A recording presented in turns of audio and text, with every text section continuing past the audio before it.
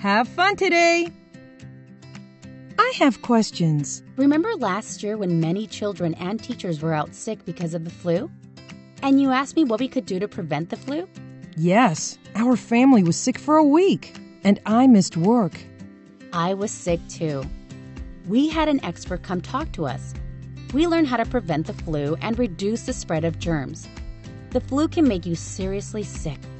A flu vaccine protects everyone the kids in this program, and you and your family. I've heard that the flu vaccine doesn't always work. I know some people who got vaccinated but still got sick.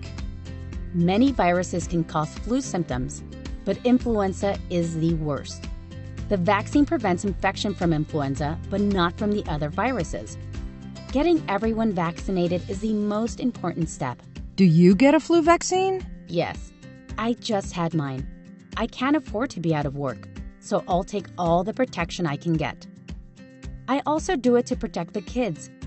Everybody six months and older should get the flu vaccine every year. The flu vaccine sounds important. I'll talk with my child's pediatrician about getting my children vaccinated. I'll go get vaccinated too.